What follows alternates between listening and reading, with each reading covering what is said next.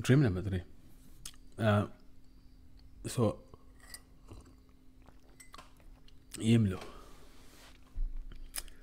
I'm at the White House. I walk in into the Oval Office there. Lapha ukhuluma naye. And I'm like, hey, Puman, Puman, Puman, Puman, Puman, Puman, out. Uh, everybody gets gets out very quickly. They're still shocked how did I get in here? Who's this? And one of the Secret Service members tries to to come at me, reaching for his gun, and was dealt with very quickly. Uh, I have two two captains on my left and right.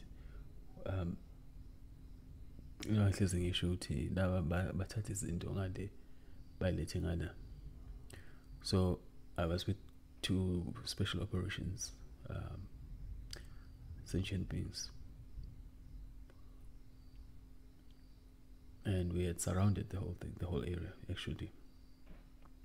That whole area of the white house we had literally surrounded it and isolated it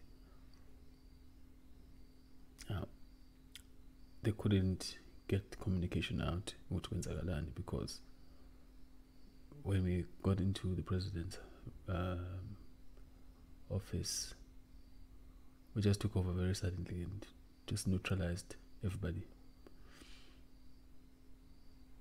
So ungasalani obama. Uthi ya obama hlala phansi. Now obama is shocked kwenzakalani and who's this man? Why is he here?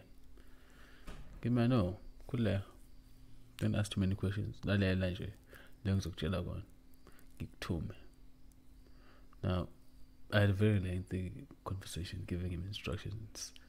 What uthi fact dinge ukuthi kwenzakaleni from his position uthi ngimdinga ukuthi enze ukuthini nani nani nani nani it was about almost at the end of his second term. Uh, in 2015 or so. So let me know. Are you going to comply? Athi yes. Mina okay. That's good right? Sesiyahamba ke you can call your people batshele ubesifikile now he's shocked. I'm like he's like get- no i know. You have you have a second phone that you keep there in your pocket. Not this one. Khona lena engiyisebenzisayo hayi simshiye senikemile kanjani so now it's time to get to get out of the place so ngiphume ke and mangiphumela ngaphandle I mean, obviously now people are being alerted there's been an intruder, so they come. Some military personnel come in, come and in my in my hands, I had the Quran on the right, I had the Bible on the left, and I took the Bible ngavula what seemed like a door out of thin air. And with the with the Quran I pushed the door open. And.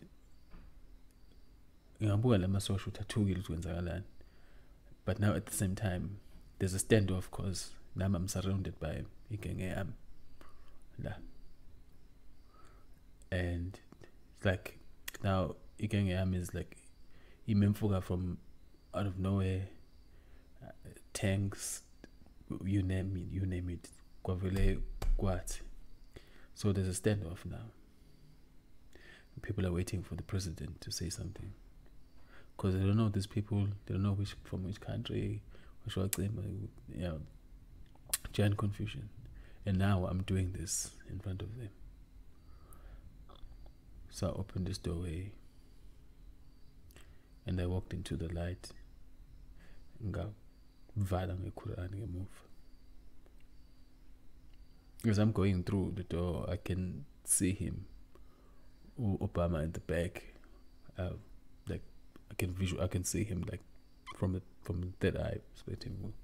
What oh, nangekhipha le phone encanyane ngakhipha ifoni encane emnyama and then he dials this number and he calls these white people.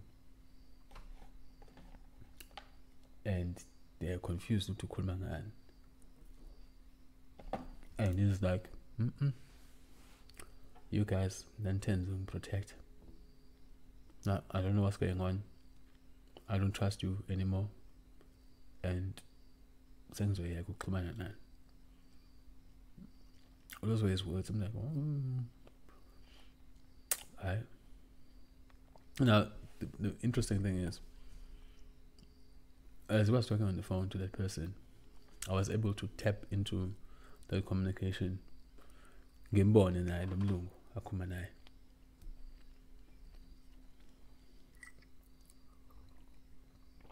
Well we'll talk about labo but i think most of you have the idea what you are in a world that is run by a very deep round table of some white wish witches and wizards and what you, what you have you. Mm.